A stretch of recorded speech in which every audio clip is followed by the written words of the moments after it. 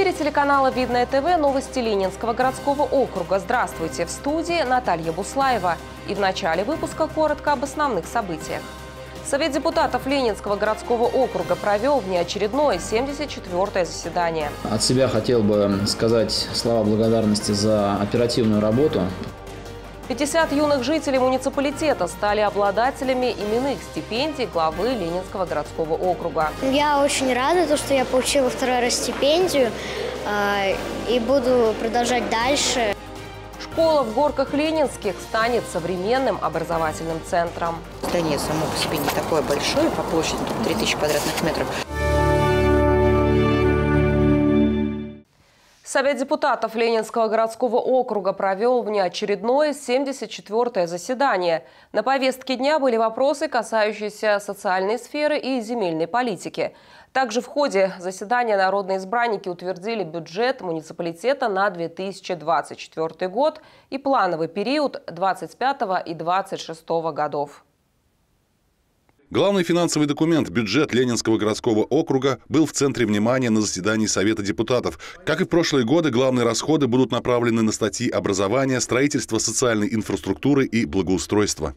Общий объем доходов бюджета Ленинского городского округа в сумме 17 миллиардов 44 миллиона 176,2 тысяч рублей. Общий объем расходов бюджета на 2024 год составит 17 миллиардов 738 миллионов 470,2 тысячи рублей с дефицитом 694 миллиона 294 тысячи рублей. Депутаты утвердили бюджет на 2024 год и на плановый период 2025 и 2026 годов. Заместитель главы администрации Татьяна Квасникова озвучила вопрос предоставления педагогам дополнительной социальной поддержки в виде компенсации стоимости аренды жилья. Подобный опыт есть. Сейчас медицинские работники пользуются такой льготой. В 2024 году в округе планируется открыть 7 школ и 6 детских садов, а потому вопрос привлечения кадров будет стоять очень остро. Есть э, специальности, в которых мы особо нуждаемся. Математики, филологи, физики. А, вот, собственно, эти категории педагогов мы перечислили в положении. Оно похоже очень на положение о медиках, ничего особенно нового там нет. Прошу поддержать эту меру социальной поддержки. Депутаты поддержали новую льготу для педагогов. Далее заместитель главы администрации округа Светлана Тугова представила проект внесения изменений в структуру администрации Ленинского городского округа. Для оптимизации численности администрации Ленинского городского округа предлагается исключить из структуры администрации должности советник главы округа – 2 единицы, помощник главы округа, консультант. И ввести дополнительно одну э, должность заместитель главы городского округа, а также отдел обеспечения деятельности главы городского округа. Светлана Тугова отметила, что эти структурные изменения не приведут к увеличению расходов из бюджета округа. Депутаты проголосовали за эти изменения единогласно. В заключении заседания к народным избранникам обратился временно исполняющий полномочия главы округа Станислав Каторов. От себя хотел бы сказать слова благодарности за оперативную работу, потому что действительно мы сейчас с вами а, принимаем достаточно большое количество решений. Для нас очень важно, чтобы жители нашего городского округа а, чувствовали себя комфортно, а для этого я уверен, что каждый из вас и мы все всей командой готовы активно работать. Максим Козлов, Кирилл Иванов, Гульнара Балаева. Видное ТВ. Церемония награждения лауреатов губернаторской премии «Мы рядом. Доброе дело» прошла в Подмосковье. В этом году она вручается за героические поступки, совершенные в ходе специальной военной операции, а также за особые заслуги, инициативы и проекты, которые направлены на поддержку участников СВО и их близких. Среди лауреатов – общественные деятели, волонтеры, бойцы и члены семей погибших героев. Народный артист России, почетный гражданин Московской области Никита Михалков вручил премию членам семьи видновчанина Дмитрия Зернова. В октябре прошлого года Дмитрий добровольцем отправился на СВО. Командовал штурмовой группой, затем мотострелковой ротой. Летом, выполняя боевое задание, погиб. Посмертно награжден Орденом Мужества. В детской школе искусств города Видное прошло торжественное вручение именных стипендий главы Ленинского городского округа. В этом году награды получили 50 ребят, показавшие свои способности в области образования, науки, спорта, культуры и искусства. На сцену Видновской школы искусств друг за другом для получения заслуженной награды поднимались юные таланты, которые своим трудом и упорством добились высоких результатов – в учебе, спорте и творчестве. И доказали прежде всего себе, что они способны на многое. Я молодец. Ну, буду еще стараться, еще больше заслуживать наград. Я очень рада, то, что я получила второй раз стипендию. э, И буду продолжать дальше, чтобы были много успехов. Ну, и идти дальше по фортепиано. Ну, в этом году очень много достижений. Ездила на различные международные, всероссийские, областные конкурсы. Также, ну, благодаря этим достижениям ездила в Артек в апреле. Среди счастливых обладателей стипендий Константин Вержбицкий. В этом году он стал призером регионального этапа Всероссийской Олимпиады школьников по истории, победил в открытом чемпионате «Думай, знай, познавай» и получил золотой значок ГТО. Все достижения начались еще с начальной школы, с моей самой первой классной руководительницы Кузнецовой Светланы Валерьевны. Именно она привила мне любовь к знаниям, к науке и заложила тот самый стержень, первый кирпичик, фундамент моих будущих достижений. Вручение именной стипендии в Ленинском городском округе проводится более 15 лет. За это время награду получили более тысячи юных жителей муниципалитета. Я хочу, чтобы каждый из вас, веря в свои силы, ставил себе высокие цели.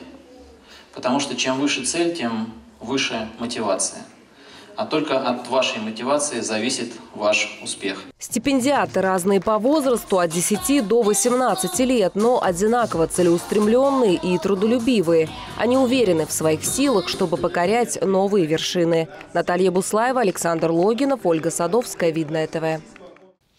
В 2023 году старейшую школу страны, расположенную в горках Ленинских, передали округу. Сейчас учреждение официально переименовано. Все объекты зарегистрированы в муниципальную собственность. Что позволит этот исторический и очень важный для округа объект не только сохранить, но и продолжить славные традиции, заложенные еще сто лет назад. На место выехал временно исполняющий полномочия главы Ленинского городского округа Станислав Катаров. Теперь уже не школа, а образовательный центр «Горки». 2023 год – новая страница в истории, пожалуй, самого известного учебного учреждения округа. Правительство Российской Федерации передало его в собственность муниципалитета. И чтобы определиться с дальнейшим фронтом работ, на место выехал временно исполняющий полномочия главы Ленинского городского округа Станислав Катаров. Здесь важно сохранить все культурное наследие да, и дать возможность э, жителям э, и посещать эти культурные места, и также учиться в новом современной школе.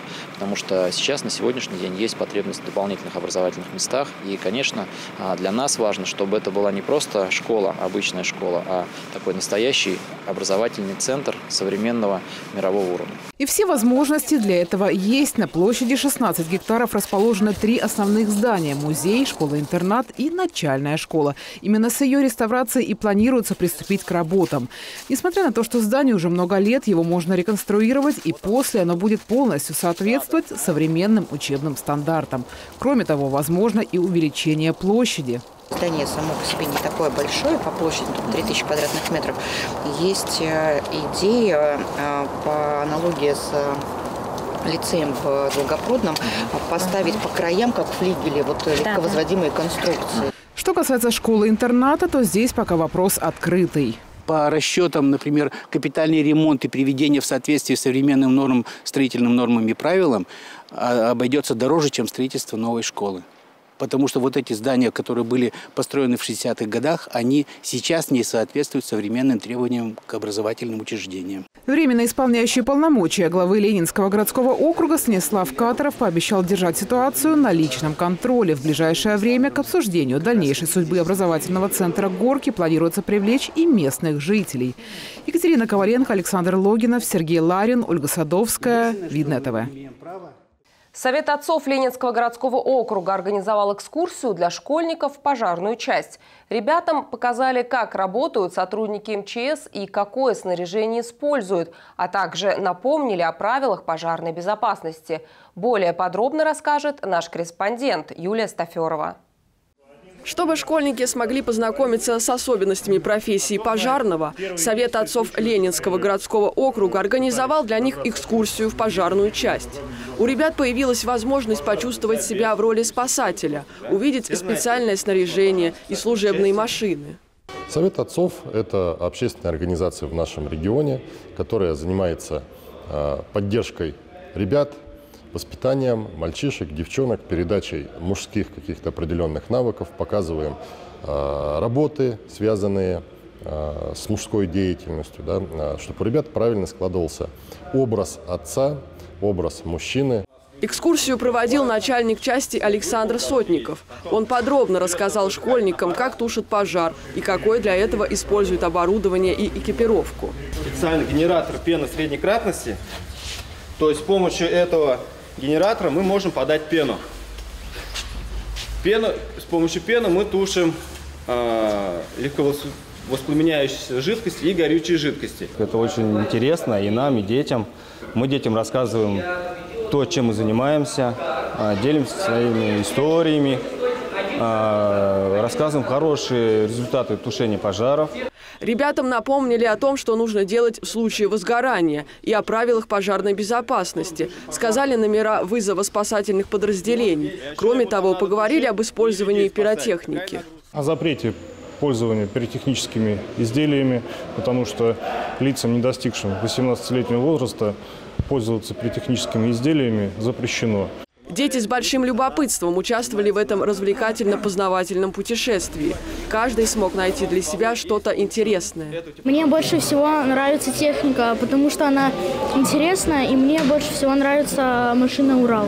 Мне понравилось больше, когда нас сажали в автомобиль. Совет отцов Ленинского округа будет и дальше организовывать для школьников разные увлекательные и обучающие мероприятия. Юлия Стаферова, Кирилл Иванов, Ольга Садовская, Видное ТВ. В рубрике «Афиши выходного дня» расскажем вам о том, как можно провести предстоящие выходные – 23 декабря в 14.00 в субботу в библиотеке села Булатникова состоится мастер-класс «Новогодние снежинки». Приходите и создавайте себе праздничное настроение. В Доме культуры «Буревестник» села Молоково в субботу большой новогодний концерт творческих коллективов «Елка талантов». Начало в 16.00.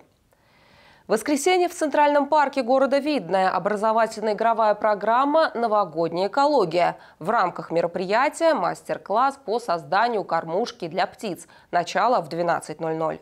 В Доме культуры «Буревестник» воскресенье 24 декабря спектакль театра-студии «Премьера» «Голубая стрела» по мотивам сказки Джани Радари. Начало в 17.00.